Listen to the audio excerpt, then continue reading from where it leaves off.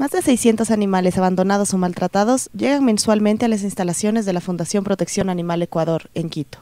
En el lugar, perros y gatos esperan ser adoptados, mientras reciben todas las atenciones médicas, alimentarias y de protección. PAE tiene dos sedes, pero es en la del norte de la capital a la que llegan los animales para ser evaluados. Los cachorros y los gatos permanecen en ese lugar, mientras que los perros más grandes son revisados y esterilizados antes de ser trasladados al terreno en Alausí. La problemática con los animales domésticos es, en cierta parte, ignorada por las autoridades. A la Comisión de Biodiversidad de la Asamblea Nacional ingresó un proyecto de ley de protección animal, propuesto por Saruca Rodríguez.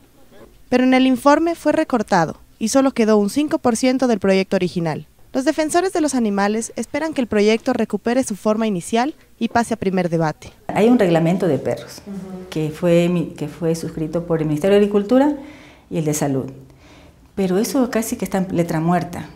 yo creo que los pocos cumplimientos somos eh, los que hemos logrado las, organizaciones o personas que trabajamos en esto, buscándole eh, las herramientas que ese reglamento nos dio para poder salvar animales de crueldad, de maltrato, de ese tipo de cosas. Pero de ahí no existe la autoridad en busca del cumplimiento de, esa, de ese reglamento. Aquí en lo que es Quito está la ordenanza 048 que trata de abarcar a todos los animales porque es de fauna urbana, no simplemente de perros y gatos. Eso, para que tengas una idea, la, entidad encargada de que se cumpla esa ordenanza es la Secretaría de Salud y ni siquiera conocen la ordenanza. Dentro de los planes de gobierno de los candidatos a la presidencia del Ecuador para las próximas elecciones del 17 de febrero, no existen propuestas respecto a la protección animal. Los partidos y movimientos abordan temas ambientales y ecológicos en sus propuestas, pero enfocados a la explotación de recursos y su impacto ambiental. En una entrevista para la agencia Andes, el candidato a presidente por Alianza País, Rafael Correa, aseguró que la ley debe respetarse, pese a que actualmente en Ecuador solo existe un reglamento para la tenencia de perros y ordenanzas municipales. Maltratar a un animal es contravención, se puede ir preso, pero no se aplica la ley. Entonces muchas veces el problema no es falta de ley, es la falta de la aplicación de esa ley. que tenemos que ser mucho más estrictos. Eso es lo que hemos querido hacer pero en un país que vivía sin ley, sin autoridad, que ahora haya autoridad legítima, democrática, y se aplique la ley, autoritarismo, dictadura.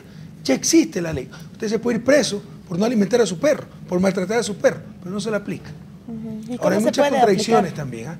y los que supuestamente defienden el espíritu de Montecristi se han convertido en espiritistas, que se opusieron a la consulta. La constitución da derecho a la, a la naturaleza, defiende la vida. Y estos tipos estuvieron a favor de las corridas de toro y matar el toro como espectáculo. ¿Quién entiende esas cosas? Eso es parte del cuidado animal también. La sobrepoblación de animales, el control de la reproducción de especies exóticas, la problemática con los animales de consumo por el tema de salud pública, son algunos de los puntos claves que los defensores de animales exigen a las autoridades. Como autoridad, lo, mínimo que deberían de preocuparse es el tema, que ya lo he repetido varias veces en la entrevista, es el tema de la sobrepoblación de animales. Tienen que montar una estrategia para parar el crecimiento geométrico de animales, y hablando específicamente de perros y gatos. Tiene que controlarse la, mm, libertad, por decirlo de alguna forma, que existe para la reproducción de especies exóticas. Vamos a suponer que, el trabajo de la autoridad es simplemente ver por los intereses del país y de la, de la comunidad. Y en ese sentido, el control de todo este tipo de actividades relacionadas con la venta de mascotas, llámense perros y gatos, llámense exóticos. El, otro tema importantísimo que es eh, los animales para consumo. Es fundamental. Y esto, no hablando de, de pobrecitos los animales, eso que nos dejan a nosotros. El tema es salud. Para la agencia de noticias Andes, Diana Vega.